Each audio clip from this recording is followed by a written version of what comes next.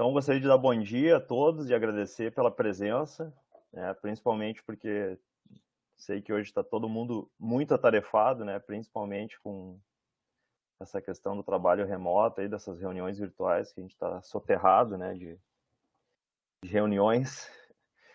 Então, queria agradecer muito a presença de vocês e a, ela vai estar gravada, né, caso vocês conheçam algum colega aí, algum conhecido que não pôde assistir por estar em campo, ou fazendo uma outra atividade, depois o pessoal pode assistir pela, pelo MConf. Tá?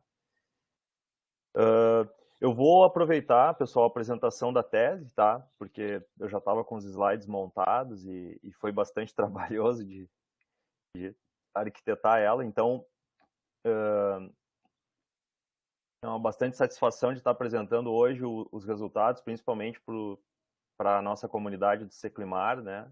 Tanto dos docentes, os técnicos e os alunos que não puderam assistir no dia. É, essa defesa ela aconteceu no dia 20 de dezembro, né? E então o título da tese é Padrões de deriva, encalhe e persistência de carcaças de tetrápodes marinhos na costa sul brasileira. Tá?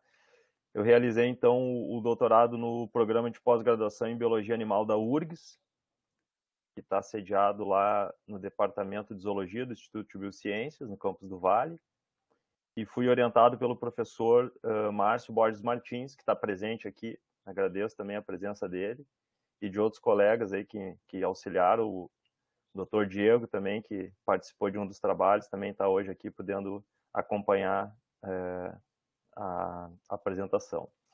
Bom, vou é, eu, a minha tese, eu comecei pelos agradecimentos, então eu vou aproveitar aqui também, né, porque tem várias pessoas que não assistiram que eu preciso agradecer. Essa aqui é a minha família, para quem não conhece, né, minha esposa e meus três filhos, a Flora, o Antônio e o Pedro. Logicamente, agradecer a minha família aqui. Eu estou só passando nessa parte aqui para hoje mais para apresentação dos resultados, mas meus pais, a minha irmã, meus sogros, né, que me ajudaram bastante também, né, na época que eu precisei ficar lá em Porto Alegre para fazer as disciplinas. Eu moro aqui em Capão.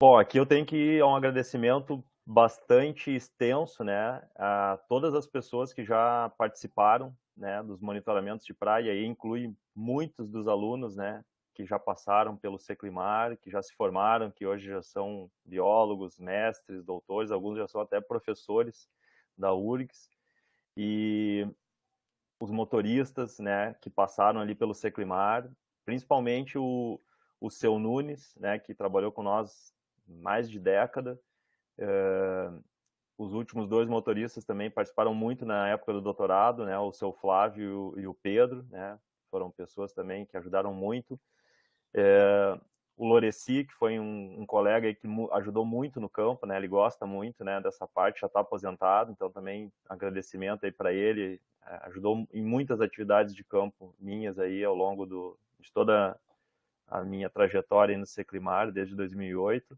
e principalmente nessa época do doutorado. Então, um agradecimento aí bastante amplo, né? Não tem como nomear todas as pessoas. É, Agora que eu me dei conta que eu não estava em tela cheia. É... Aqui mais algumas turmas aí de monitoramento, né? Aqui vocês podem ver tem a, a Cassinelli aqui, nossa colega, vários alunos aqui do curso, né? Que já se formaram.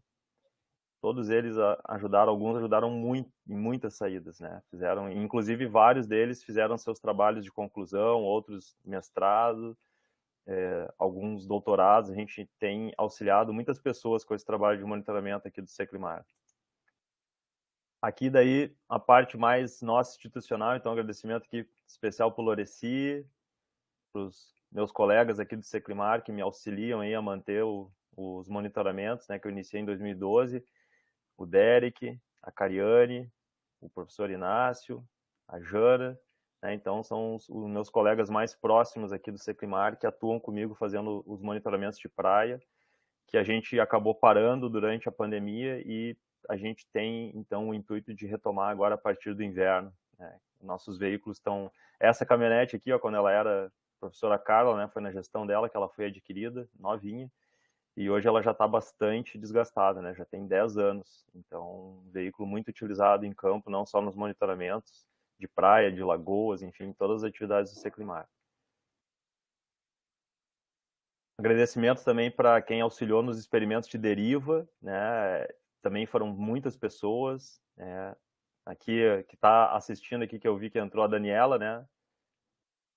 Uh, tem vários uh, alunos nossos aqui, integrantes do GEMARS, é, professores da UERGS, é, vários colegas que auxiliaram, né, é, nas saídas aqui, também aqui à direita, é, em cima aqui a professora Daniele, lá da FURG, do NEMA, que também me auxiliou nas buscas, né, lá no Litoral Sul, que a gente teve materiais que encalharam uh, lá na, perto da Barra de São José do Norte, então nos monitoramentos sistemáticos deles, eles também ajudaram a, a fazer um escaneamento da praia para ver se tinha algum material que a gente usou no experimento de deriva. Então, um agradecimento aí a todos os colegas e amigos que ajudaram aí nesse experimento importante. Aqui um agradecimento para as pessoas, né, que auxiliaram na recuperação dos materiais, e aí aqui à esquerda, em cima, é, a população, assim, sintetizada aqui por essas crianças, né, lá da praia de São Simão, né? Eles encontraram, assim, para eles foi um barato, né? Para eles era como se fosse a garrafinha do tesouro, aquelas de, de filme que tem uma mensagem dentro. Aqui aos colegas lá do ICMBio, uh, a unidade de mostardas do Parque Nacional do Lagoa do Peixe, que também auxiliaram bastante nas buscas, inclusive me propiciaram fazer algumas expedições com os veículos deles lá para fazer o recolhimento. Aos guarda-vidas, civis e militares do Corpo de Bombeiros também auxiliaram muito e a gente vem desenvolvendo um trabalho que eu vou detalhar um pouco melhor depois, desde 2017. E aqui aos pescadores, né, também, que auxiliaram muito, principalmente esse aqui, que é o, o Jic, né, esse senhor aqui de chapéu azul, ele é um pescador ali de Balneário Pinhal, eles são conhecidos como a galera da pesca. Ele contribuiu em todos os experimentos, né? Eu realizei nas quatro estações, ele encontrou materiais em todos eles. Ele pesca ali na região de Bacupari e ele recuperou inclusive um dos rastreadores, né? Uma pessoa extremamente edônea e que ajudou muito aí na, no recolhimento dos materiais. Eu queria agradecer em especial para o Lucas, né, meu colega aqui do museu, que me auxiliou muito nas atividades do experimento de deriva, tanto nos embarques quanto nas buscas. Ele, o professor Paulo Ott também, é, quase todas as saídas eles foram comigo, né? A, o Paulo participou de todos os embarques e quase todas as buscas. O Lucas teve só um embarque que ele não conseguiu ir e em algumas buscas. E as meninas ali, a Júlia e a Keila também que me auxiliaram na última busca, né? É, para a gente fazer o, a recuperação na primavera. E um agradecimento para o Márcio, né, que está presente aí. Tem que agradecer para ele de novo, né, pela orientação aí é impecável e por todo o auxílio e amizade ao longo desse período todo. Banca de acompanhamento, tive um acompanhamento ao longo da, do doutorado, agradecer ao professor Inácio ao professor Murilo, né, que a gente fez quatro bancas de acompanhamento, né, normalmente são três, como eu tive um atraso na entrega devido à pandemia, a gente acabou fazendo quatro bancas, então agradecimento para eles também por todo, a, todas as sugestões, né, ao longo do trabalho. O professor Elírio, aqui à direita, lá do Instituto de Geociência da URGS, professor Felipe Caron, por todas as conversas sobre a parte oceanográfica e pelas capacitações que a gente vem uh, desenvolvendo com os guarda-vidas desde 2017, que eu comecei com o professor Elírio e depois o professor Felipe assumiu e a gente vem então capacitando né, o, o corpo de guarda-vidas da Operação Golfinho, tanto civis quanto os militares, desde 2017, na temporada de 17 para 18, a gente começou esse trabalho e ele vem acontecendo regularmente todos os anos. Uma parceria que a gente estabeleceu muito salutar para nós e para eles. Ao Dr. William Drose, que identificou para mim as formigas, é a professora Paula Araújo, Departamento de Zoologia da URGS, que identificou os isópodos, e ao Dr. Luciano de Azevedo Moura, da nossa extinta Fundação Zoobotânica, que fez a identificação de muitos né, artrópodes para mim, principalmente os insetos é, do experimento de persistência. E, por fim, aqui um agradecimento especial à Janira também, minha bióloga, minha amiga, que me auxilia aqui a, no projeto Fauna Marinha, que eu tive que me afastar nos últimos três meses do ano para defesa, e ela manteve as atividades aí, coordenando toda a equipe. Uh, preciso agradecer muito aqui ao Seclimar, né, é a, a, a, minha instituição de origem, e aí eu agradeço, então, é, em nome de todos os, os diretores, né, é, com os quais eu já trabalhei desde que eu entrei, principalmente a professora Carla, né, que está aqui hoje, e, e, ela foi a, a pessoa que foi diretora, né, minha diretora por mais tempo, né, ao longo desse período, por mais mandatos. Então, um agradecimento para ela sempre apoiou, né, as atividades de monitoramento, eh, de pesquisa que eu realizo e ali no Seclimar também, sempre dando suporte, né, com os veículos e apoiando, né, o nosso trabalho. Também a professora Norma, que também atuou nesse período, o professor Inácio, o professor Eduardo, agora mais eh, recente. Então, todos eles auxiliarem, a gente conseguiu manter, então, esse monitoramento sistemático por vários anos, que foi muito importante. Ao Museu de Ciências Naturais, né, meus colegas ali que também que me auxiliam, é, ao Grupo de Estudo de Mamíferos Aquáticos, pela parceria nos últimos dois anos, né, que a gente firmou um, um, uma colaboração, eles aprovaram um projeto muito grande pelo Fumbil, uh, e a gente acabou colaborando principalmente com dados referentes à toninha, né, que é uma espécie de golfinho ameaçada à extinção, e a gente teve um suporte muito importante, né, financeiro para a realização dos monitoramentos, foi o que a gente conseguiu manter, né, o carro estava dando muito muita manutenção nos últimos anos e graças a essa parceria a gente conseguiu ter verba então para alimentação, para o combustível e para poder finalizar, né, até um pouquinho antes da pandemia. Uh, queria agradecer então também ao Instituto de Biociências, que era a nossa unidade mãe, né, uh, desde que eu entrei, e agora mais recentemente a gente passou então a ser uh, um órgão auxiliar do campus Litoral Norte. Então agradecer também a nossas duas unidades e ao programa de pós-graduação. Dito tudo isso, então, apresento a estrutura da tese, né, embora aqui eu vá apresentar uh, apenas os resultados do capítulo 2, 3 e 4. A tese ela tem uma introdução geral, é, onde constam os objetivos e os resultados gerais em português, e uma, um capítulo final, né, que são as conclusões gerais também em português. Os outros três capítulos é, são em formato de artigo científico, todos os três é, redigidos em inglês. Tá? Então, agora eu apresento para vocês os resultados. Depois de uma breve introdução sobre o assunto. Bom, para quem não conhece, né, o, os tetrápodes, que são o tema central da, da tese, eu vou apresentar, né, o, o cerne do trabalho é sobre as carcaças de tetrápodes marinhos. Esse grupo de animais a gente pode imaginar, então, os vertebrados, à exceção dos peixes, o restante dos vertebrados seriam os tetrápodes, né?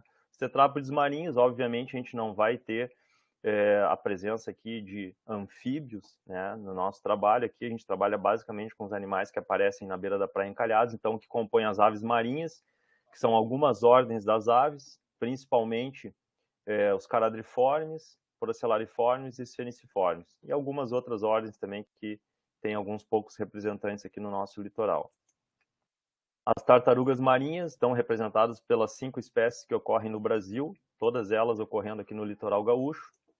E os mamíferos marinhos, então, representados pelos cetáceos, os botos, baleias e golfinhos, e os pinípedes, então, uh, que alternam parte da vida na água e parte na terra. São os lobos, leões marinhos, focas, elefante marinho.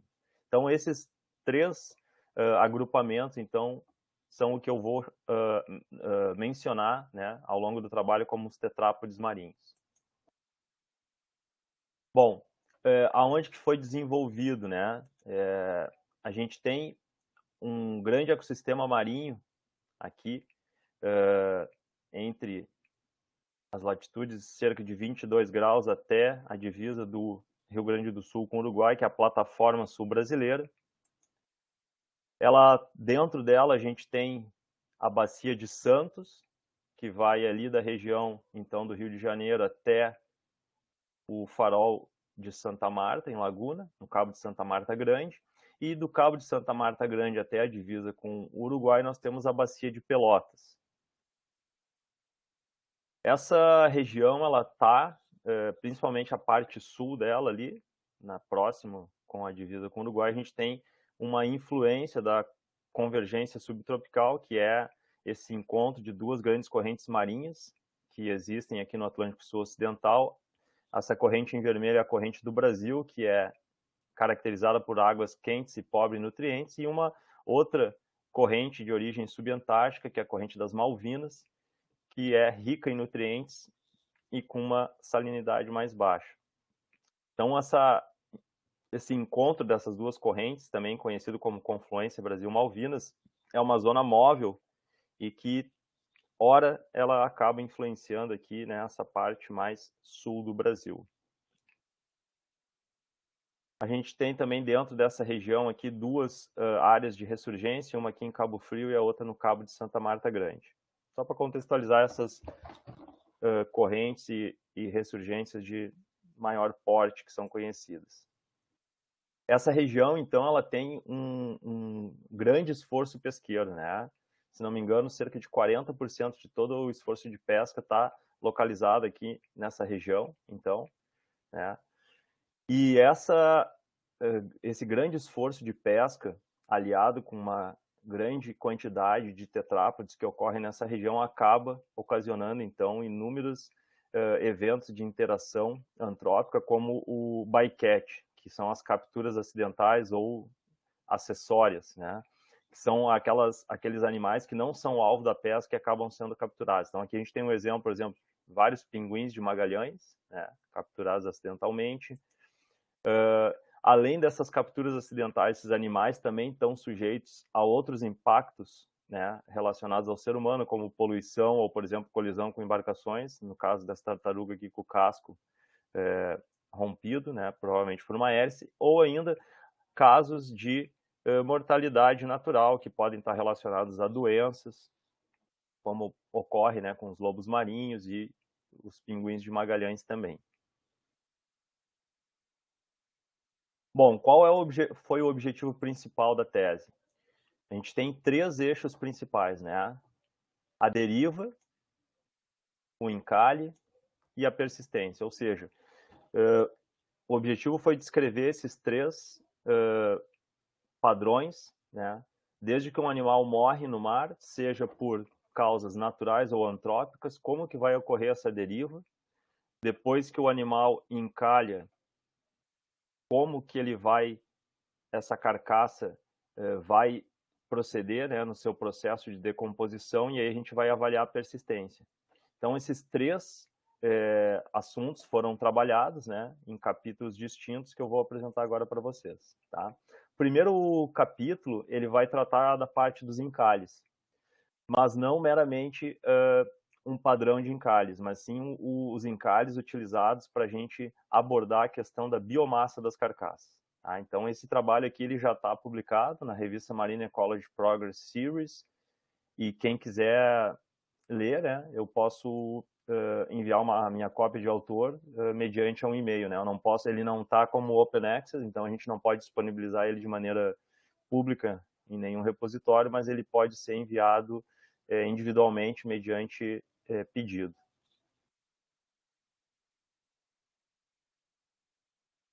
O principal objetivo deste capítulo foi quantificar a biomassa de carcaças, então, desses organismos, tetrápodes marinhos, ao longo da plataforma sul-brasileira, que é aquela área geográfica grande que eu mostrei no início.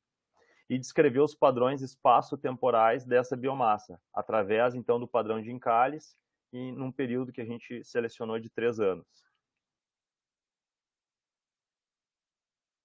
Bom, essa região aqui, é, a gente trabalhou com ela, ela perfaz aproximadamente uns 2 mil quilômetros de costa. A gente trabalhou no período entre setembro de 2016 até agosto de 2019 para fechar três anos, né, com as quatro estações. Essa área foi dividida em 46 transecções de 45 quilômetros, da seguinte forma. Primeiro, as transecções de 1 a 3 englobando cerca de 125 quilômetros, são relativas aqui à área de estudo que nós realizamos os monitoramentos sistemáticos do Seclimar. Então, esse é um banco de dados institucional do Seclimar. O segundo banco de dados, das transecções 6 a 32, ele perfaz cerca de 1.270 quilômetros. Já vou explicar qual é a origem desse banco de dados. E, por fim, mais um outro banco de dados que perfaz das transecções 33 a 46, cerca de 585 quilômetros. O segundo banco de dados vai de Laguna até a região aqui de Paraty e depois aqui de Paraty até Saquarema, o banco de dados 3. Vocês vão notar que aqui tem um, um espaço né, em branco, que seria equivalente às transecções 4 e 5. Então, tem cerca de 90 quilômetros que não tem uh, esforço em bancos de dados públicos, né? Um repositório que a gente pudesse, então, acompanhar uh, toda essa área. Então, essa parte aqui ela não foi utilizada né, uh, nas análises. Banco de dados 1, então, que é o trabalho que nós realizamos aqui no Seclimar, uh, são monitoramentos sistemáticos realizados entre Itapeva e Imbé, fazendo 80 quilômetros de costa, e depois entre Tramandaí e o farol de Dunas Altas em Palmares do Sul com mais cerca de 50 quilômetros. Então a gente tem aproximadamente uns 130 quilômetros, né? Uh, Para fins aqui da análise foram 125 pela, pelo tamanho das transecções ser um tamanho padrão. Como que funciona? A gente percorre com um veículo, né? Paralelo à linha de praia.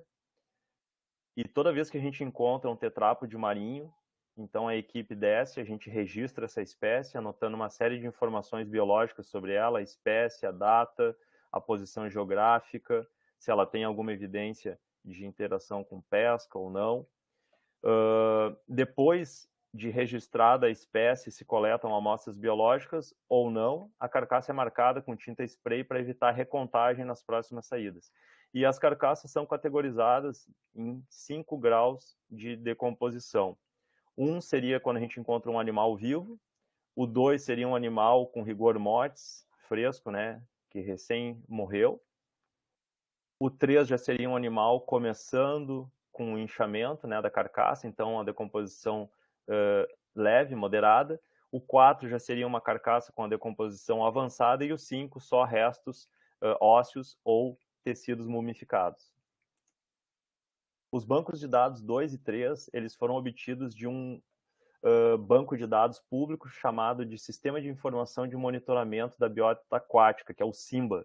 Qualquer pessoa tem acesso, né, através deste link aqui, se ele não mudou, né, eu acredito que ainda está o mesmo, embora ele esteja sendo feita uma atualização. É, e tem aqui uma aba, então, de acesso público.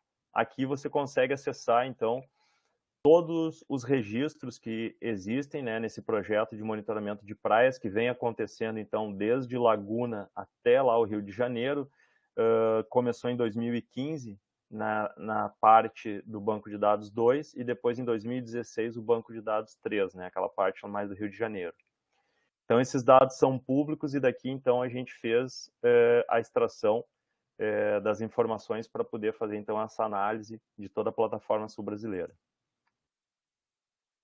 Uh, nós trabalhamos com uma análise de network para fazer a avaliação dos padrões espaciais, então, desses encalhes.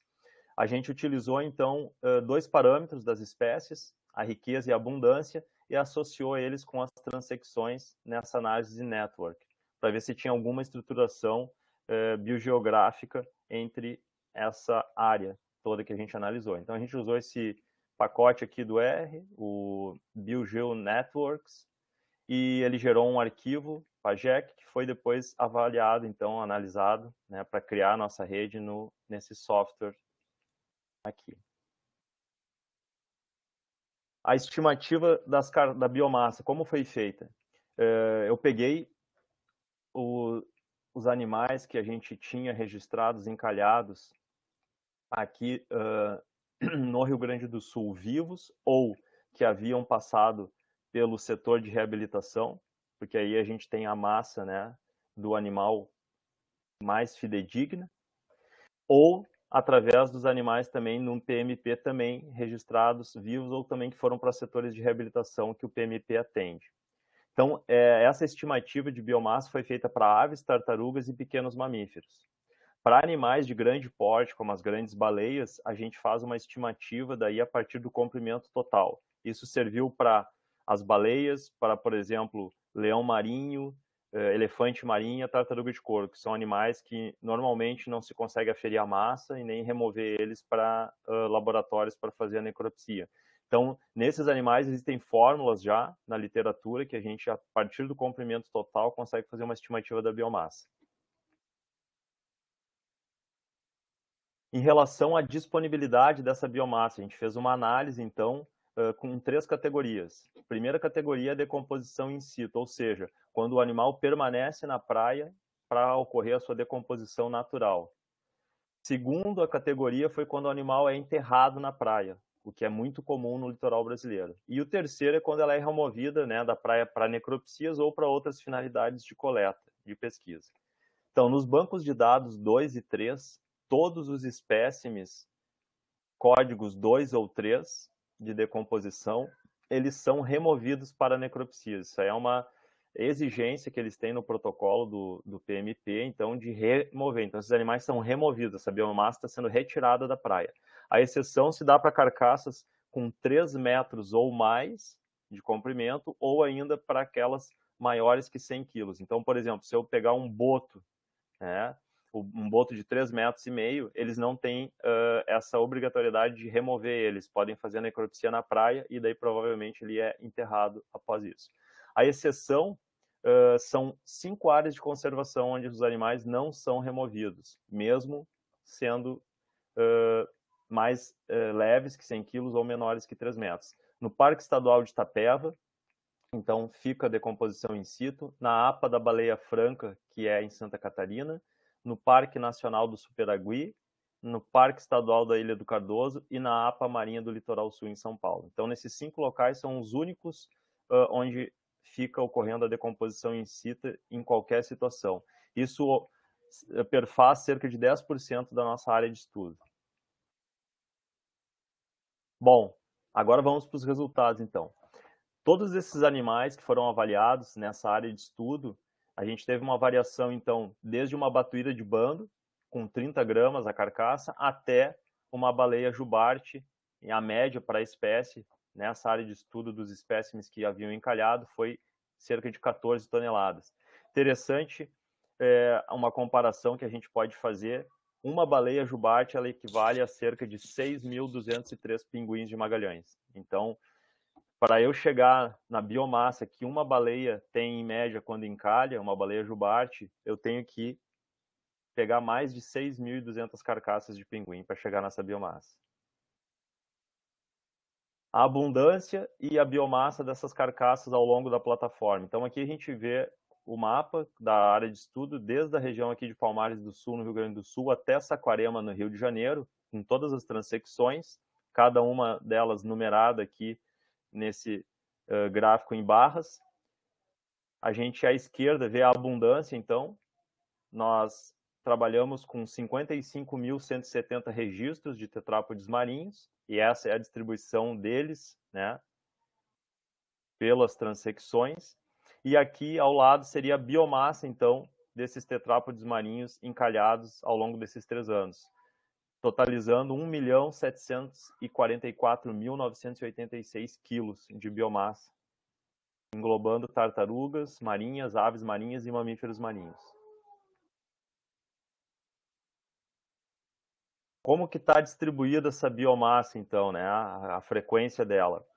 Se a gente pegar o primeiro período, que foi entre setembro de 2016 até agosto de 2017, nós tivemos uma média de 288 quilos por quilômetro por ano ou 24 quilos por quilômetro por mês. Semelhante no próximo período de 2017 a 18, um pouco maior então, 352 quilos por quilômetro por ano ou 29 quilos por quilômetro por mês. E por fim, no último período, 242 quilos por quilômetro por ano ou 20 quilos por quilômetro por mês. Ou seja, o que, que isso representa? Que na maior parte do tempo a gente tem é, muitos locais sem encalhe e alguns outros locais com encalhe. Então, na média, a gente tem esses, se a gente pegar aqui entre 20 e 30 quilos por quilômetro por mês, seria o equivalente a falar que encalharia uma toninha por quilômetro por mês na área de estudo. Se a gente pensar no total, isso é pouco, né? Mas então tem áreas que não têm encalhes e tem outras que têm uh, mais encalhes. E a gente vê aqui que a maioria dos encalhes são de uh, até uma tonelada. Né? Então, a maioria dos registros que a gente tem são de pouca uh, matéria orgânica. Né? Aqueles grandes volumes de matéria orgânica que estão relacionados a encalhes de baleia são mais pontuais.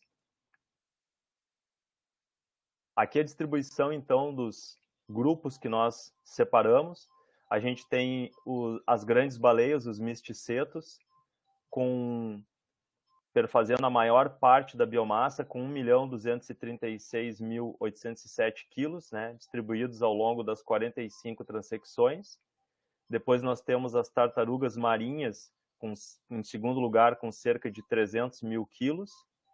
Uh, depois, uh, os odontocetos, que seriam os cetáceos com dentes, em terceiro lugar, com cerca de 138 toneladas. Em quarto lugar, os esfeniciformes, então representados exclusivamente pela espécie pinguim de Magalhães, com 41 toneladas. Depois, os pinípedes, com cerca de 18 toneladas. E, por fim, os procelariformes, as aves dessa ordem, com pouco menos de 7 toneladas. A gente nota uma distribuição mais homogênea entre os misticetos, tartarugas e, e odontocetos, e uma distribuição mais temperada, então, aqui para pinguins, pinípedes e procelariformes, né, com uma maior concentração no sul. A distribuição temporal dessa biomassa é, ao longo do ano, essa aqui seria, esse seria o padrão geral aqui na letra A, onde a gente nota um acúmulo, né, um pico entre agosto e outubro, ou seja, na interface aqui do inverno para primavera, onde a gente tem a maior quantidade de biomassa depositada nas praias. Isso tem relação com o padrão migratório das espécies, né? Obviamente esse padrão aqui ele é puxado pelas grandes baleias, que é o gráfico B, então que é muito parecido com esse gráfico total e que tem essa, esse, essa característica né, do padrão migratório delas aqui no nosso litoral. Uh, em C, nesse gráfico de radar, a gente tem então o padrão das tartarugas, que vai tendo então uma maior distribuição aqui também no inverno e na primavera. Na letra D a gente teria o gráfico dos odontocetos, que na verdade ele é muito parecido com o das tartarugas, mas aqui ele tem esse pico em dezembro. Esse pico na verdade é um, seria um artifício devido a um encalhe de um cachalote. O cachalote, ele só, ele é a, a segunda espécie com a maior biomassa, ele só perde para jubarte aqui no nosso trabalho. Então, se a gente retira esse espécime de cachalote aqui, ele fica o gráfico fica muito parecido com a letra C. Depois E e F, nós temos os pinguins e os pinípedes.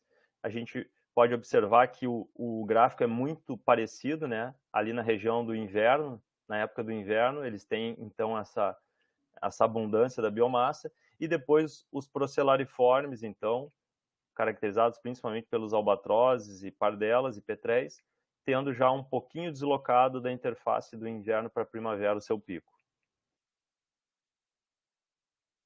Bom, em relação à análise de network, é, essa figura muito bonita aqui que a gente montou, né, essa análise foi feita pelo, pelo Dr. Diego, que é nosso colaborador e está hoje podendo acompanhar aqui a apresentação. Nós tivemos uh, uma estruturação fraca, que era esperado, né, visto que tem muitas espécies compartilhadas. Então, a gente teve uma estruturação em apenas dois grupos. Um que foi chamado de Grupo Norte, que está aqui na cor lilás, e o outro Grupo Sul com a cor laranja. Nós temos 50 espécies compartilhadas nesses dois grupos. Então, ao total, 76 espécies foram registradas, 50 delas são compartilhadas nos dois grupos e 13 delas são exclusivas apenas para o Grupo Norte, que são essas todas aqui com a cor lilás, no topo aqui da figura direita, e outras 13 são exclusivas para o sul, como por exemplo o leão marinho do sul. Né? O leão marinho do sul ele não ocorre no grupo norte, apenas no grupo sul.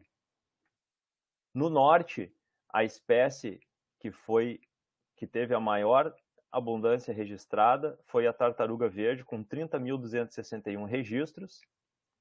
Desculpa, no total 30 mil, e desses 30 mil, mais da metade são tartarugas verdes que fizeram 15.212 registros. Da mesma forma, no sul, dos 24.909 registros, mais da metade deles, 12.613, são pinguins de Magalhães.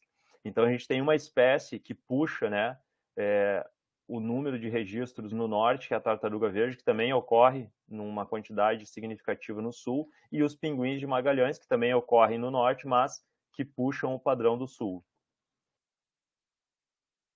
Em relação às categorias de biomassa de carcaças, em relação à disponibilidade delas, vocês vão recordar que eu expliquei que a gente uh, escolheu três categorias, que era quando ela fica a decomposição na praia, que é a decomposição in situ, in situ, quando ela é enterrada ou quando ela é removida. Então aqui a gente tem em azul à esquerda o número de espécimes que foram deixados na praia em azul, enterrados em laranja e removidos em cinza. Da mesma forma, no gráfico à direita, nós temos essa quantidade de biomassa. Então, esses indivíduos que estão aqui à esquerda, em azul, eles perfazem essa biomassa aqui na direita em azul. Da mesma forma, a parte laranja é o número de espécimes que foram enterrados e aqui a biomassa referente a eles. Então, o que, que a gente consegue é, notar, assim, olhando para esses dois gráficos? Primeiro lugar, dentre os graus de decomposição, né, excetuando os animais vivos, que é o grau 1, a gente nota que a maioria das carcaças já encalha em grau de decomposição 4. Não é que ela fica na praia e, e depois vai apodrecendo, ela já chega no grau 4. Esse é o padrão mais significativo. E a gente nota também que tem uma remoção, né, que pode ser uh, encarada de duas maneiras: o enterro da carcaça ou ela a própria remoção da beira da praia. Porque quando a gente enterra a carcaça, a gente está privando também né, os organismos necrófagos de acessar essa matéria orgânica. Então, a gente observa que a mais da metade né, dessas carcaças elas estão sendo enterradas ou removidas do sistema. Aí isso perfaz uma quantidade de biomassa bastante significativa.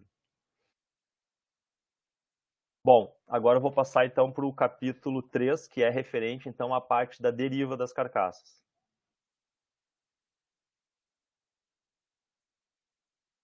Para avaliar então a deriva desses tetrápodes marinhos, foi realizado um experimento uh, aqui no litoral gaúcho, onde se utilizou então rastreadores veiculares com sistema de GPS, GSM e GPRS, uh, flutuadores uh, biológicos e não biológicos e ciência cidadã. Então, o principal objetivo aqui foi descrever o padrão da deriva, né, através desse experimento controlado ao longo de um ano, pegando as quatro estações do ano, utilizando essa metodologia mista, né, com esses materiais que eu citei agora há pouco. Quando a gente encontra um, uma carcaça na beira da praia, a pergunta que vem pode ser tanto para um pesquisador quanto para uma pessoa que está passeando na beira da praia leiga, é por que, que esse bicho está aqui, né? Como que ele veio parar aqui? Da onde que ele veio? Quando que ele veio, né? Quanto, quanto tempo ele ficou na água? Será que ele morreu agora? Então, essas perguntas são muito difíceis, né, da gente responder, principalmente se a carcaça já está mais decomposta. Né? Então, para tentar entender melhor essas questões e responder essas perguntas, a gente realizou esse experimento. E aí, com esse experimento, a gente consegue responder exatamente essas questões. Por exemplo, eu vou dar um exemplo aqui de um dos materiais que a gente utilizou. Essa aqui é uma tartaruga verde, que ela foi solta no dia 21 de agosto de 2019, né? Uh, a 25 quilômetros de distância da costa. Então, como que esse animal morreu. No caso, se ele tivesse morrido, pode ser por causas naturais ou por preda uh, predação, doença ou por uma captura acidental, não interessa. Ele morreu uh, neste local aqui. Então, no nosso caso, a gente sabe que foi uma soltura, um experimento controlado. E eu sei o local e sei o dia. A partir disso, com o rastreador, a gente conseguiu então monitorar parte da trajetória dela e pegar ela exatamente no dia que ela encalhou, que foi no dia 28 de agosto. E isso ocorreu no inverno. Então, no inverno, a essa distância da costa, essa tartaruga demorou cerca de uma semana para encalhar. Ela encalhou lá no Parque Nacional da Lagoa do Peixe, em Tavares, a cerca de 150 quilômetros ao sul da soltura dela. Então aqui a gente já tem é, uma informação muito importante. Né? Muitas vezes as pessoas veem um animal encalhado na beira da praia e relacionam ele com um cabo de rede que está do lado, perto, e, as, e, muitas vezes não tem relação alguma. Né? Esse animal ele pode ter morrido, por exemplo, eu estou aqui em Capão da Canoa, o animal pode ter morrido lá em Santa Catarina e vindo com a corrente encalhado aqui em Capão da Canoa. Né? E eu vou estar tá fazendo alguma eh, inferência porque eu vi um barco passando ali atrás, né? Quando tem a carcaça, ou porque eu vi um cabo de rede. Então, aqui a gente já tem uma informação muito interessante. Como é que funcionou esse experimento, então? A gente utilizou uma embarcação alugada aqui da empresa Mundial Transportes, na barra do Rio Tramandaí, é uma embarcação é a maior que a empresa tem ali, que comporta então um grande número de pessoas. Nós íamos com uma equipe média de cerca de 15 pessoas, né? Claro que tinha outras metodologias sendo aplicadas, como observação de animais, mas a gente precisava de um convés grande aqui para levar uma caixa d'água de mil litros com as carcaças dos animais, que foram coletadas ao longo de mais de dois anos, estocadas, congeladas, marcadas e acoplados então os rastreadores nas tartarugas e nas toninhas. Além disso, a gente utilizou também flutuadores não biológicos, que eram garrafas uh, long neck, né, de cerveja reutilizadas, de vidro. Então, como é que funcionou? A gente saiu dessa região aqui, que é a Barra do Rio Tramandaí, na divisa de Imbé com Tramandaí, e percorremos então essa transecção com esses cinco pontos já pré-determinados antes, desenhados, onde em cada um desses pontos foram soltas foram soltos 30 flutuadores não biológicos, ou seja, então essas garrafinhas, então 30 em cada ponto, totalizando 150 por estação. E ao final, então, nós tivemos 600, né, juntando as quatro estações do ano. E nos pontos 1, 3 e 5, nós tínhamos também um lote de carcaças que eram soltas, 15 carcaças de animais, com a mesma composição no, no lote 1, no lote 3 e no lote 5, compostos por uma toninha, três tartarugas marinhas e 11 aves marinhas, da, da, do grupo dos Procellariformes e também pinguins de Magalhães. Aqui então o um detalhe, ó, a gente tinha uma mensagem que ia dentro dessa garrafa ou dentro do pote onde havia o rastreador, informando que a pessoa havia encontrado uh, um material que fazia parte de um experimento para entender o funcionamento das correntes marinhas aqui no litoral, com o código alfanumérico, que era o mesmo que havia por fora. Por fora, então, é, a pessoa visualizava esse lacre, que é um lacre bovino, né, aqueles que se coloca no, na orelha do gado, com esse código alfanumérico e uma mensagem, avise, tinha um e-mail de contato e um número de WhatsApp. E esse aqui foi com certeza uma das formas com que fez o experimento funcionar uh, com mais sucesso, né? Que foi essa interação com a população através da ciência cidadã por esse número de WhatsApp. Principalmente uh, na questão das garrafas, né? Que eram facilmente visualizadas e já eram avisadas, às vezes, quando ela estava recém-encalhando. As carcaças também possuíam esses lacres, dependendo do animal, mais de um lacre, né, para garantir se algum deles fosse perdido, e por fora dos rastreadores também havia um lacre identificando o material. Esse aqui é o rastreador que nós utilizamos, é um rastreador veicular, que é facilmente adquirido pela internet, eh, em qualquer loja, Americanas, Magazine Luiza, Mercado Livre, e aqui nós utilizamos também um power bank, depois do primeiro experimento, que foi como um piloto, uh, nós vimos que para aumentar a duração da bateria seria interessante colocar essa bateria extra, né, que daí duplicava o tempo de duração. Nós fizemos uma estimativa dos, do custo, né, então, desse experimento envolvendo esses equipamentos todos que a gente utilizou.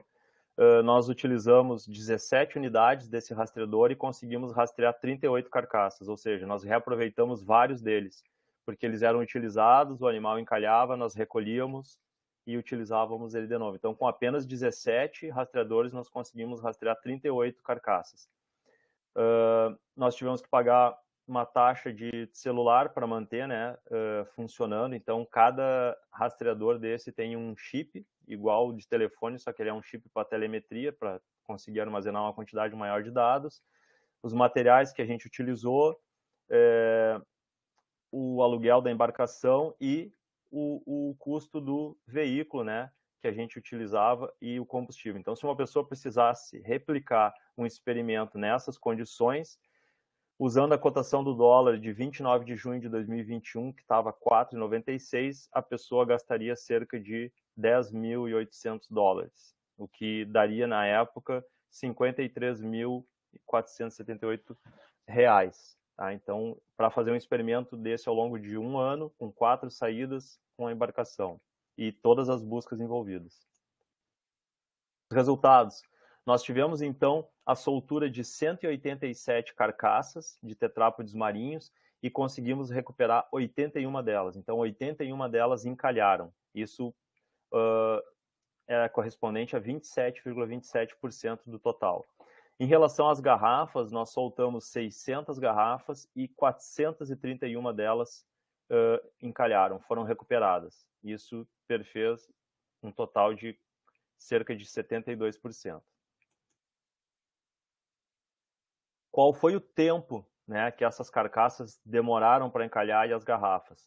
Uh, tanto as carcaças quanto as garrafas, o mínimo que a gente teve uh, tempo antes do, da, entre a soltura e o encalhe foi de 12 horas. Então, no verão, nós soltamos os materiais uh, em torno de 7 e meia da manhã, 8 horas. À noite já tinha animais, garrafas e animais encalhando. Então, cerca de 12 horas depois, a gente já tinha materiais encalhando. E o máximo que uma carcaça permaneceu na água até o encalhe foi 17 dias, e para as garrafas nós tivemos relatos de 406 dias, provavelmente de materiais que já haviam encalhado, mas que só foram detectados mais tarde. Então, se a gente olhar com atenção, a gente vai observar que 100% das carcaças, em cerca de duas semanas, a gente tem praticamente todas as carcaças já encalhadas e 87% das garrafas. Ou seja, duas semanas é um tempo já muito bom se a gente for bolar um experimento para a gente focar as buscas né, uh, atrás desses materiais. Muito dificilmente uma carcaça vai suportar mais de duas semanas na água, mesmo no inverno. Padrão de deriva, uh, espaço temporal das carcaças e das garrafas. À esquerda, aqui, o padrão das garrafas. Então, ao longo das quatro estações do ano. Em azul, a gente tem o padrão do inverno. Vocês podem ver que os dois extremos foram no inverno. E esses dois extremos nos dão a maior uh, deriva uh, do trabalho, que vai 130 quilômetros para o norte e 300 quilômetros para o sul. Ou seja, a gente teve né, então um deslocamento do material dentro de uma área de 430 quilômetros, que pega desde aqui da Barra, né, da Laguna dos Patos, lá em São José do Norte, até aqui municípios do sul de Santa Catarina. Toda essa área de abrangência a gente teve, então, materiais encalhando. Uh, em vermelho, o verão, em amarelo, a primavera e em branco, o outono. Vocês podem notar que o padrão é semelhante, né? Nós temos uh, o outono e o verão com uma predominância de encalhes para o norte, tanto das garrafas quanto uh, das carcaças, e da mesma forma, na primavera, em amarelo e azul, no inverno, nós temos então um, uma predominância dos encalhes nessas estações para o sul. Então, aqui uma informação muito interessante que a gente também acabou descobrindo. Aqui seriam então os as rotas, né, as trajetórias uh, de rastreio então das carcaças que foram monitoradas pelo aparelho, o rastreador. Em vermelho as toninhas, então os golfinhos, aqui a rota delas até o encalhe, e em verde as tartarugas marinhas. Uh, interessante que a gente pode notar aqui nessa figura é então é, em relação à distância da costa, que a gente tem uma cobertura boa de sinal até o ponto 3, mais ou menos, máximo até o ponto 4 aqui, que daria cerca de 20 quilômetros de distância da costa. Após isso, o sinal fica fraco ou ausente. E da mesma forma, ao sul, né? Quanto mais eu me afasto aqui latitudinalmente do ponto de soltura, mais difícil é o rastreio. Ou seja, isso aqui está totalmente relacionado ao sinal GSM, porque o aparelho funciona então com esse chip, né? Que tem dependência desse sinal. Então, aqui na área que é mais urbanizada, no litoral norte, nós temos um rastreio excelente e conforme eu vou me deslocando aqui e vou chegando na península de Mostardas, esse sinal vai ficando praticamente inexistente. E aí o rastreio fica muito mais difícil. Aqui separado por estações, fica mais fácil visualizar aquele padrão que eu comentei dos encalhes, então o rastreio também mostra isso. A gente tem aqui no verão, então, um predomínio em direção ao norte nos encalhes, no outono também, e no inverno e na primavera a gente tem esse rastreio, então, predominantemente vindo para o sul. Agora, para finalizar, é, o capítulo re relativo à persistência, a gente observou então os resultados da deriva dos materiais, de, o primeiro capítulo que foi sobre os encalhes, o padrão da biomassa, e agora então eu vou trabalhar um pouco com vocês mostrando essa parte da persistência delas, então nessa interface do terra-oceano que a gente trabalha aqui da linha de praia. Aqui o objetivo foi estimar a persistência média das carcaças dos tetrápodes marinhos que a gente encontrou na, aqui no litoral gaúcho, então, entre 2017 e 2019, e identificar os principais fatores que afetam a persistência das carcaças. Aqui a metodologia é a mesma que eu descrevi no primeiro uh, capítulo, que foi o da, o da, da biomassa, ou seja, são os monitoramentos sistemáticos esse capítulo ele é feito, então, nessa área de estudo que nós trabalhamos, não envolve bancos de dados eh, externos, públicos. Então, entre Itapeva e Imbé, a área norte, em vermelho, e entre Tramandaí do Nas Altas, a área sul. Além desse trabalho monitoramento sistemático, também realizei mais oito experimentos de persistência para ver em numa escala mais fina o que acontece no sistema de praias. Então, uma área dentro dessa região norte aqui, que foi na Praia Zona Norte, em Capão da Canoa, um trecho de 1,6 quilômetros de extensão, daí percorrido a pé, e aqui na área uh, sul, ali na região da Praia das Cabras, um trecho de 1,7 quilômetros, também percorrido a pé. Uh, interessante notar que essa área aqui da, da área norte do monitoramento, ela tem uma área bem mais urbanizada em relação aqui à Praia das Cabras, que é na divisa de Tramandaí e Considera que é uma área sem urbanização. Então, isso também foi avaliado. Tá? Uh, como é que funcionava é, esse monitoramento de fina escala? A gente realiza o monitoramento né, nesse trecho com o veículo e contabilizou, então, o que tinha nesse trecho de 1,6 km, como se faz ao longo de toda a extensão. Depois desse monitoramento, eu fiquei, então, o intervalo que o pessoal fez o monitoramento para o sul e antes de retornar para esse monitoramento do norte, por exemplo, eu fiquei percorrendo essa região diariamente a pé para ver como que o sistema se comportava. Então, aquelas carcaças que haviam sido registradas com essa marcação de tinta spray durante o monitoramento me indicavam o que havia no sistema no dia do monitoramento e depois o que ia sendo adicionado e como que esses materiais iam sendo removidos ou adicionados no sistema. Então, quais as causas, os fatores antrópicos é, que estavam influenciando a fauna cadavérica que atacava né, os necrófagos, tanto vertebrados quanto invertebrados. Então, tudo isso foi avaliado nesse experimento de fina escala. Uh, em relação aqui à, à persistência, então, uh, dos animais, relacionadas à biomassa deles, que a gente já trabalhou no, no capítulo anterior sobre a biomassa das carcaças. Então, aqui, o que a gente avalia? Em amarelo são as aves marinhas, em verde as tartarugas marinhas, e em azul os mamíferos marinhos.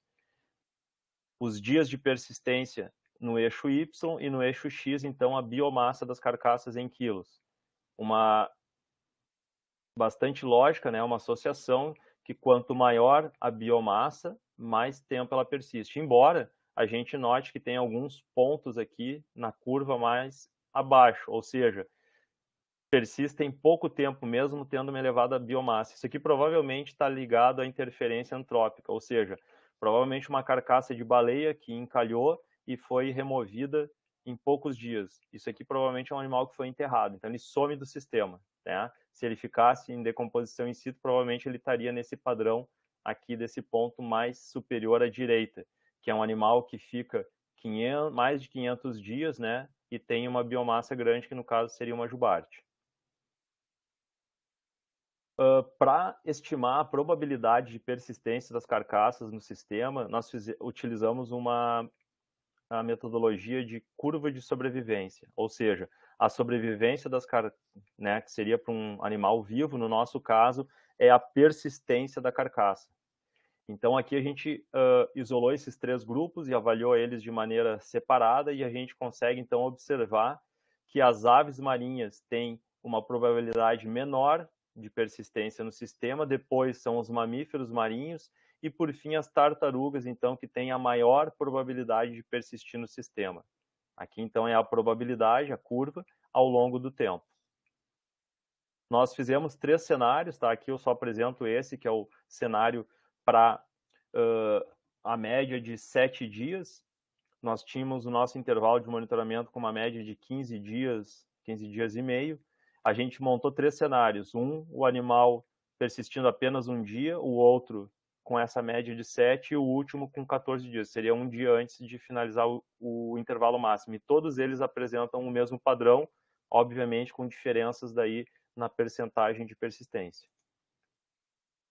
Uh, Outra análise que foi feita, além de ter esse padrão geral da área de estudo, a gente fez uma análise, então, comparando o lado norte do monitoramento com o lado sul, porque empiricamente a gente notava é, uma diferença. Parecia que as coisas é, ficavam mais tempo no sistema na área sul do que na norte.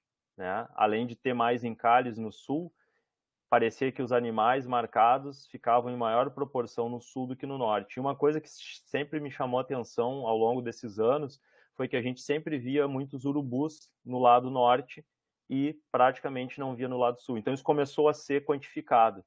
E aí nessa análise ela mostra então uma diferença é, significante entre o lado norte e o lado sul. Ou seja, no lado norte é, todos os três grupos animais tem uma probabilidade de persistência menor do que no lado sul do monitoramento. E aí, então, a gente tem essa associação com essa questão dos urubus e que a gente quantificou da seguinte maneira. Uh, quatro espécies principais aqui, eu montei uns mapinhas de distribuição, então nós temos o carcará, ele está presente ao longo de toda a área de distribuição, tanto aqui ao norte de Imbé, quanto ao sul, mas a gente vê que tem né? Algumas áreas de maior concentração aqui. Depois nós temos o chimango, que é essa espécie uh, de rapinante pequenininho e que não tem grande efeito sobre as carcaças, mas que está uh, muito mais concentrado aqui na área norte, né? A gente tem, quando a gente faz o monitoramento, isso é muito visível, tem muito chimango sempre aqui entre Imbé e Torres, e a gente vê um pouco menos aqui para o lado sul. Em relação aos urubus, que são os animais que realmente causam né, um, um, uma, um dano maior né, nas carcaças em relação ao consumo, né, como necrófagos. Eles são necrófagos obrigatórios, né, enquanto que o carcará e o chimango são necrófagos facultativos, né, ou seja, os urubus eles só se alimentam de material em decomposição, de presas mortas, e, e, eles ocorrem, então, basicamente no lado norte do monitoramento. O de cabeça vermelha, muito bem distribuído aqui, principalmente é, de Capão da Canoa em direção a Torres, e nós temos acho que só seis registros aqui para essa região é, ao sul de Imbé, mais localizados aqui na proximidade entre Tramandaí e Cidreira. O urubu de cabeça preta, a gente não tem nenhum registro durante os nossos monitoramentos aqui no sul, e temos uh, a maioria deles também de Capão da Canoa para cima, principalmente quando se chega próximo à região de Itapeva, em Torres, a gente tem também uma concentração muito grande. Em relação aos necrófagos invertebrados, nós inventariamos, então, durante os experimentos de fina escala, e muitas espécies, né, foram cerca de, foram 25 famílias registradas, principalmente, então, insetos, mas nós tivemos também é, crustáceos, né, no grupo dos isópodos necrófagos, essa espécie aqui, o Exirolana armata e a Maria farinha, né, Ossipode quadrata, e dos insetos, principalmente os coleópteros e as moscas, né, da família Sarcophagidae, Califóride, aqui as larvas, tanto larvas, é, a, os adultos, depois a gente vê a, a, presença de pupas, e formigas também são bastante comuns, né, uh, pegando os resquícios, né, dessa matéria orgânica que fica na carcaça. Então tem toda uma sucessão que vai ocorrendo ao longo do tempo. Aqui eu queria destacar uh, Exirolana armata, aquele isópodo necrófago que até um dos membros da banca na defesa falou que no Rio de Janeiro eles chamam de pulga da praia. Né? Então aqui eu tenho um, um, relato, quando eu fiz o meu experimento de fina escala, uma documentação, uma pardela preta que encalhou. 24 horas depois ela estava assim, ó, começando a ser é, atacada pelos isópodos, ela estava na área úmida da praia. 48 horas depois do encalhe, uh, o esqueleto já estava dessa maneira, né, praticamente limpo, e 72 horas depois ele estava já quase que pronto para ir para uma coleção científica. Então, os animais realmente eles são super eficientes na decomposição da matéria orgânica. Aqui a gente tem uma toninha também sendo ó, devorada por eles, e aqui um pinguim de Magalhães, ó, que recém encalhou, morto, já também sendo extremamente atacado. Essa aqui seria né, um detalhe, esse aqui é um, tem um videozinho, mas aqui como está em PDF não vai aparecer, mas é só para quem não conhece ver eles é, atacando, né? Qualquer matéria orgânica que aparece, às vezes as pessoas estão pescando na beira da praia, tá removendo o resto da isca, cai no chão, eles vêm, parece que ficam beliscando o pé da gente, né? Quem já já pescou na beira da praia, isso é muito comum, né? Esses bichinhos eles ficam, parece que estão beliscando a gente, de tão vorazes que eles são. Uma outra coisa interessante que a gente uh, observou ao longo desses anos e que a gente documentou aqui foi o uso das carcaças como um engodo para poliquetos. O que, que é isso? É, é, muito comum os pescadores utilizarem matéria orgânica para atrair é, uma espécie de poliqueto, que eles chamam de minhoca do mar, que é essa espécie aqui à direita, para utilizar como isca. Ela é muito apreciada porque ela é, tem uma musculatura, né, textura bastante firme, ela dura bastante tempo, né, então ela é, tem pessoas que inclusive vivem de vender essa isca aqui no nosso litoral e capturam ela uh, com essas atrações. Gente, quando eu era criança, eu me lembro que o pessoal usava peixe, né? Resto de podia ser camarão, crustáceos ou resto de bacalhau, né? Quer dizer, hoje em dia uma pessoa usar um pedaço de bacalhau para fazer isso é impensável, né? Pelo preço que é. Mas enfim, eu, e a gente foi vendo ao longo dos anos que os pescadores eles usam carcaças de tetrápodes também, pedaços ou a carcaça inteira, e é muito comum da gente encontrar então quando a gente vê, assim, esses aqui à esquerda são pescadores mais... Aquele pessoal que vem morar na praia ali, que é mais por hobby, né? E esse segundo aqui é um pescador daqueles nativos mesmo, né? Aqui é na região da Península de Mostarda. Então, esses aqui normalmente usam um saquinho desses de batata com um material dentro, que pode ser peixe, um pedaço desse aqui, ou um, um bicho dentro, um pinguim. E esse aqui já arrastando uma toninha, então. E aí esses animais que são arrastados inteiros, eles fazem uma alça, né, no, na corda e puxam eles, fica amarrado na cauda, no pescoço, enfim, em vários locais. E aí muitas vezes esses animais são erroneamente interpretados pelas pessoas, até pesquisadores, que pegam e documentam isso como interação com pesca, né? Então aqui embaixo a gente tem exemplos que são de animais utilizados como engodo um dos termos utilizados aqui no litoral sul é muquicho, né? Eles chamam de muquicho ali na região de Cidreira. E aí as pessoas às vezes confundem isso aqui com uma interação. Acho que, é, que, que ele foi morto, né? É, enforcado, enfim. Aqui, ó, a própria tartaruga ó, amarrada, cravada nessa zona úmida, que é para fazer as minhocas então saírem para fora e exporem né, a maior quantidade para serem é, cortadas com uma lâmina. Uh, um dos resultados também muito interessantes vem daquela capacitação que eu comentei sobre é, o salva-vidas, que a gente vem fazendo desde 2017. Aqui em vermelho a gente tem então plotadas todas as guaritas de salva-vida, né? Aqui do litoral norte até a região lá de Dunas Altas, né? No início do Médio Leste. E aí a gente notava também, a gente começou a fazer os monitoramentos uh, no verão a partir de 2017, bem quando a gente fez essa capacitação, e aí nos chamava a atenção que a gente achava muito pouca coisa no verão, e a gente sabe que no verão as coisas são removidas muito rapidamente, né? porque as pessoas estão ali veraneando, não querem ver um bicho né, é, com um odor desagradável na praia, visualmente é feio, né? As prefeituras limpam a praia periodicamente, né, de madrugada, né? Em Imbé, por exemplo, a gente começava o monitoramento às 5 e meia da manhã, às vezes o caminhão de lixo já estava passando, ou já tinha passado. Então, se tem uma carcaça, eles já vão removendo e tiram. Então, isso aí nos dá uma subestimativa do que encalha no verão. Sempre parece que no verão encalhava pouca coisa, e na verdade não encalha pouca coisa, encalha muito, principalmente tartarugas e toninhos. Então, com esse trabalho, os guarda-vidas, a gente capacitou eles e com aquele número de WhatsApp, nós uh, conseguimos fazer uma rede de ciência cidadã com eles. O que, que acontecia? Toda vez que um animal encalhava, o salva-vida já documentava, fotografava e nos enviava. E após isso, em geral, eles enterram a carcaça. Mas aí a gente conseguiu ver a proporção de animais que a gente estava perdendo. E aí a gente fazendo os monitoramentos, a gente plotou aqui, né, nesses X é, pretos aqui, a gente consegue ver que bem aonde não tem as guaritas, ó, quase que a maioria dos registros que a gente fez, eles estão nos espaços onde não há guarita, como por exemplo aqui na, na Praia das Cabras.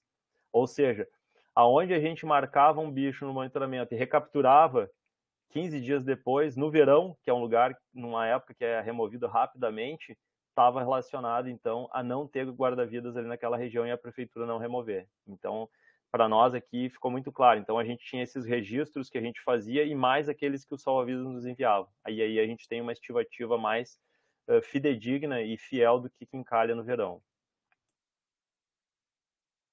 Bom, era isso, pessoal. Aí aqui são as conclusões gerais, era da importância né, da ciência cidadã nesse trabalho que a gente é, concluiu que foi fundamental para a gente poder alcançar os objetivos com êxito, tanto na parte da deriva quanto nessas estimativas uh, de beira de praia. Tá?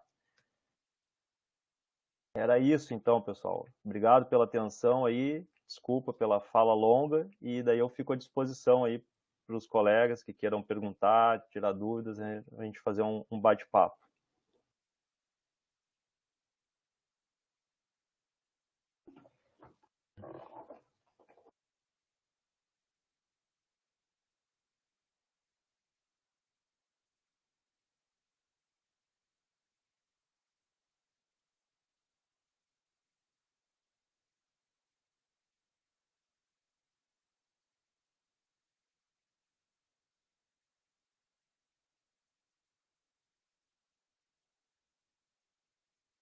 Obrigado, Dani. Obrigado, prof.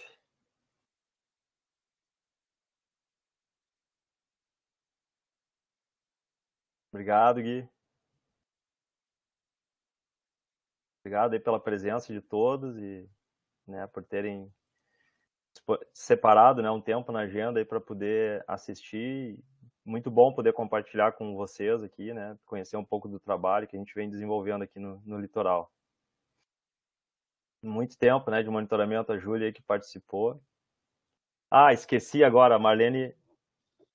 Queria pedir desculpa que na tese eu fiz esse agradecimento, esqueci de agradecer também. A Marlene também teve na direção, né? Então eu agradeci ali aos, aos quatro docentes que atuaram, mas me esqueci, queria agradecer também a Marlene, que atuou como diretora no, finalzinho ali antes dela se aposentar também sempre é, deu todo o suporte para a gente fazer o trabalho, tá? Muito obrigado.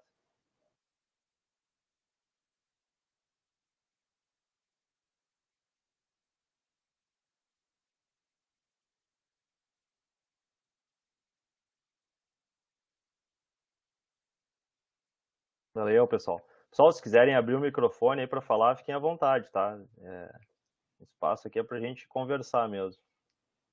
Bem, bem informal.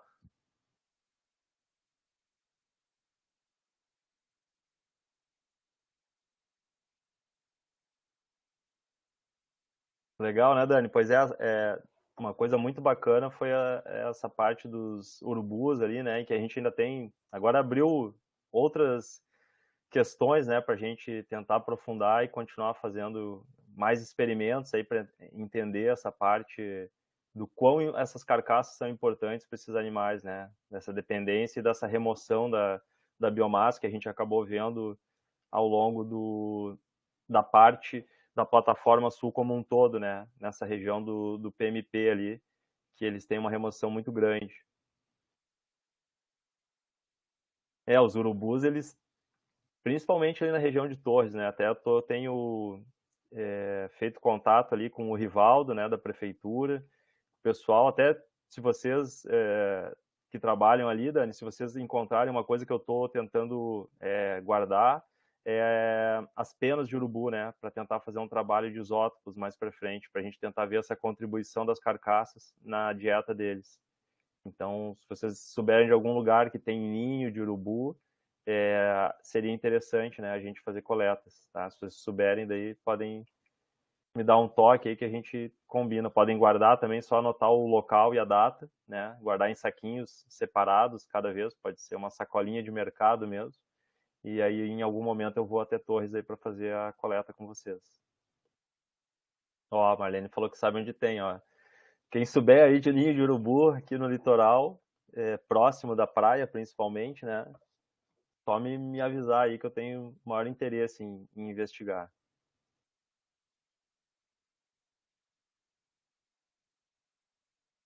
Ah, aí, ó. Então, pois é, eu, eu, eu vi, ah, o Paulo acho que me contou que o professor Benedito tinha coletado um, né? Se encontrar mortos também, seria bem legal da gente poder coletar as penas dele todas, né? As primárias, principalmente. Ó, em Osório. Obrigado, Aline. Bom, obrigado aí por ter assistido. Obrigado, Carla. Fica à vontade.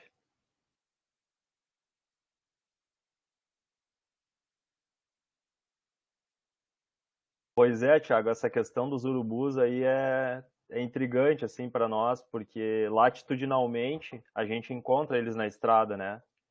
E a gente não consegue entender por que, que eles não aparecem na praia para o sul, que tem uma, até uma disponibilidade maior de carcaças, né? Tem mais recurso para o sul, tem mais carcaça, principalmente na Península de Mostardas, a gente não não não observa, né? É, eles na praia, só carcarás na Península de Mostardas e na estrada a gente vê. É, então isso é uma coisa bastante intrigante, né? Por que, que eles não estariam, talvez porque tenham muito recurso nas estradas de animais atropelados ou, ou questões de convecção de ar por causa da península, né? Isso aí a gente ainda não conseguiu entender, vou ter que investigar mais para frente. Tá joia, Aline? Obrigado aí. Se vocês souberem de alguma pena de urubu aí, só me avisarem. Em algum lugar que tem algum ninho que a gente possa também, quando eles fazem a troca, ou, né, que fica vestígio, também é legal da gente tentar fazer a coleta.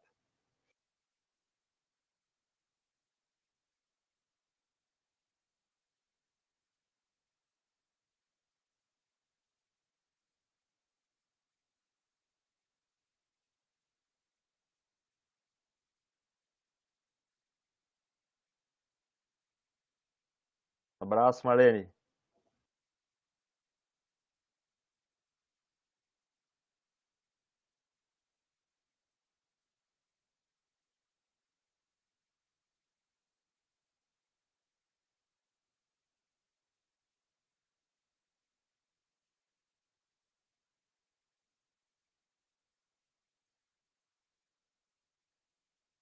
Pessoal, não sei se, você, se alguém tem alguma questão, também fico à, disposição aqui, se alguém quiser fazer alguma pergunta aí.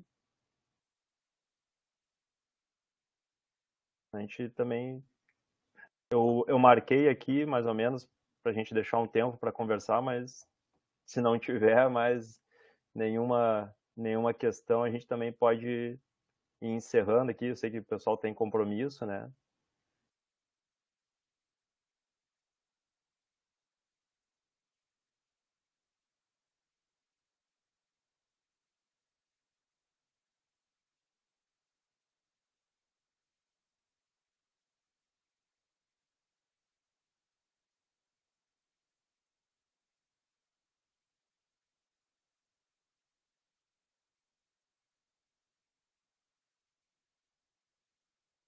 Paola tá, tá digitando, vamos ver.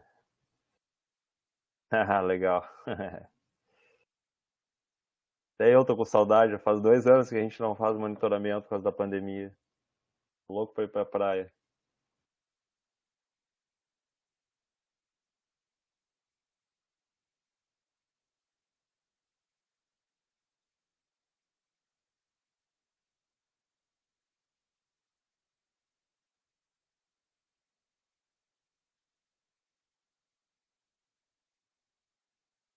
Ah, tá. Tá convidado, Márcio. Só conseguir uma brecha aí na.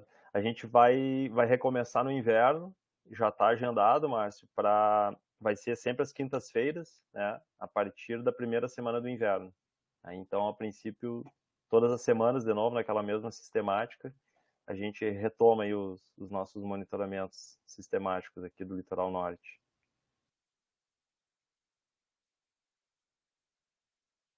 Espero que o carro esteja funcionando até lá. Acabou de voltar do concerto, né? Agora, vamos ver se ele aguenta até o inverno.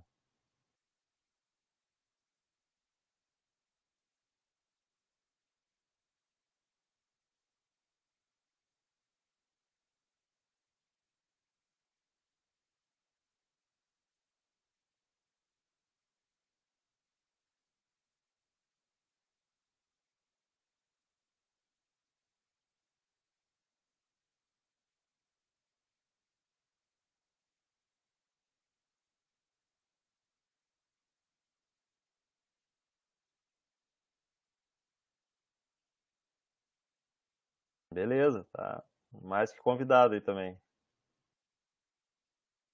Só a gente combinar.